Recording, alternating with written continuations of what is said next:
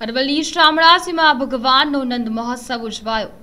આઠમની બાદ નોમનો દિવસ, જ્યારે ભગવાનનો નંદ મહોત્સવ ઉજવાય છે. આઠમના રાત્રિના બાર કલાકે જ્યારે ભગવાન કાળિયા ઠાકુરનો જન્મદિવસ કહેવાય છે, જન્મે છે કલાત્મક પારણી ઝુલાવવામાં આવે છે. નંદ મહોત્સવના દર્શને મોટી સંખ્યામાં લોકો ઉમટી પડ્યા હતા.